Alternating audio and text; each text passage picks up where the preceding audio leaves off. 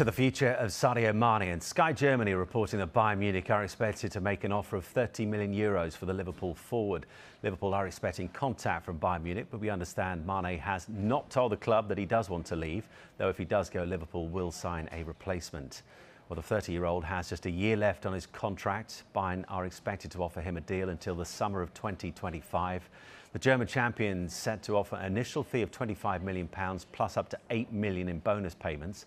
Liverpool would want more than that for a player who's been so integral to their success under Jurgen Klopp. And speaking last week, Mane said he would make an announcement on his future after the Champions League final, but following the 1-0 defeat to Real Madrid on Saturday, the forward didn't make an appearance in front of the media. So let's just remind you of what he said before the final.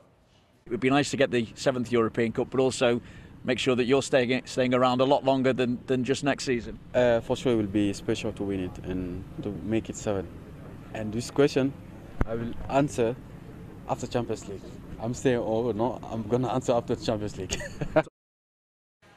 And as you'll no doubt know, Mane's proved vitally important for Liverpool this season. His 16 goals is second only to Mo Salah of his Liverpool teammates, while only Salah ranks above him for the number of shots too. He's also third at the club this season for the number of chances created from open play, minutes per goal and his shot accuracy.